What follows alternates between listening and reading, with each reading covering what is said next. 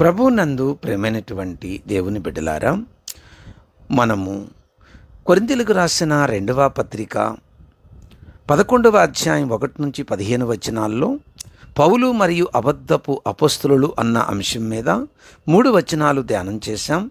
నాలుగో వచనానికి వచ్చి ఉన్నాం చదువుతున్నాను. ఏలయనగా వచ్చిన వాడెవడైనను మేము ప్రకటింపని మరి యొక్క యేసును ప్రకటించినను? లేక మీరు పొందని మరి యొక్క ఆత్మను మీరు పొందినను.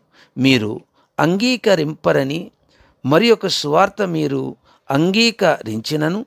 మీరు వారిని గూర్చి సహించుట యుక్తమే.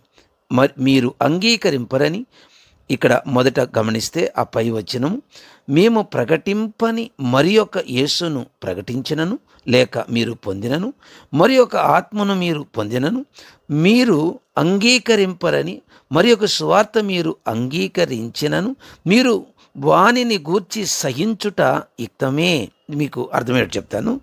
ఇక్కడ కొరింతీలు ఇతర గిరికుల వల్ల ఏదో ఒక క్రొత్త బోధ వినడానికి ఎప్పుడూ వాళ్ళు అలాంటి మనసును పెడుతూ ఉంటారు. దుఃఖకరమైన విషయం ఏంటంటే పౌలు చేత అనుగ్రహింపబడిన సత్యోపదేశము నుండి తొలగింపబడి వారు సులువుగా అవివేకులుగా చేయబడే పరిస్థితి దుర్బోధకు ఉంది. అందుకే ఇక్కడ ఏమన్నాడంటే క్రీస్తు ఒక్కడే మరియు ఆత్మ ఒక్కడే మరియు సువార్త కూడా ఒక్కటే అనే విషయాన్ని చెప్తున్నాడు. దేవుని బిడ్డారా అబద్ధపు క్రీస్తును అబద్ధపు ఆత్మలను అనుసరించకూడదని పౌలు ఇక్కడ సంఘానికి హెచ్చరిక చేస్తున్నాడు. గలతీలు తొలగిపోయినట్లు కొరింతీలు సత్యసువార్త నుండి తొలగిపోకూడదని పౌలు కోరుకుంటున్నాడు. కొరింతీలు చాలా సులభంగా అబద్ధ బోధకులను బోధలను నేర్చుకునే ఆ, లేక సహించుచున్నారన్నది పౌలుకున్నటువంటి ఒక అభిప్రాయం. అయితే అలాగు చేయడం వలన వారు గొప్ప పొరపాటు చేస్తున్నారు లేక పాపం చేస్తున్నారు అని పౌలు బాధపడుతున్నాడు. దేవుని బిడ్డారా సంఘము సరైన సత్యవాక్యములో ఉన్నప్పుడు ఆ సత్యవాక్యం నుంచి పక్కకు తొలగించి వాళ్ళని మోసం చేయడానికి ఇతరులు ప్రయత్నం చేస్తుంటే ఎవరు ఏమైపోతే నాకేమి అని నిజమైన సేవకుడు అనుకోడు.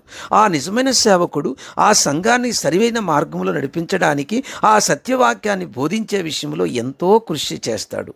రాత్రింబగళ్ళు దేవుని పాదాల దగ్గర రీఛార్జ్ అయి సంఘము సరైనటువంటి వేలో పోవడానికి ఇది అబద్ధము అని వెంటనే గుర్తించడానికి ఇది సత్యము అని వెంటనే గుర్తించడానికి తగిన జ్ఞానం వారికి వచ్చేలాగా ఆ వాక్యాన్ని సంఘానికి అందించడంలో సేవకుడు ఎంతో ప్రయాసపడతాడు.